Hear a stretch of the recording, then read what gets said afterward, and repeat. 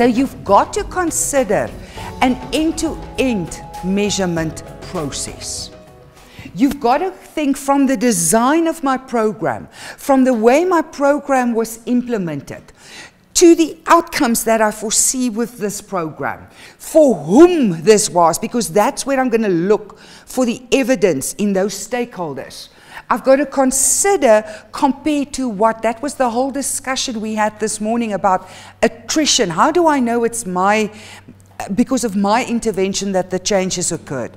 How do I know if the intervention didn't take place, what would have happened anyway in that community?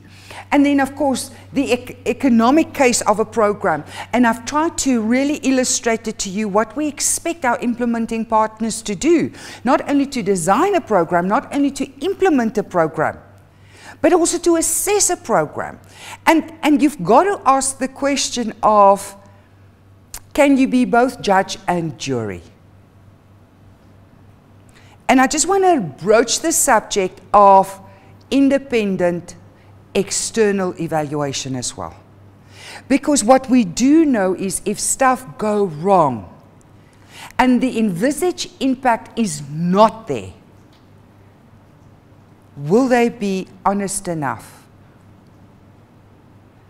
So you don't only have to make provision in your programs for the process of monitoring and evaluation, for that resource requirement, the money it's going to cost, the time it's going to take, the skills it's going to take.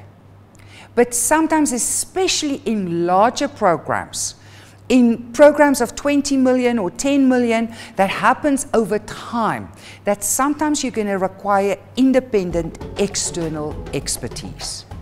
And you've got a budget for that on top of that program expenses.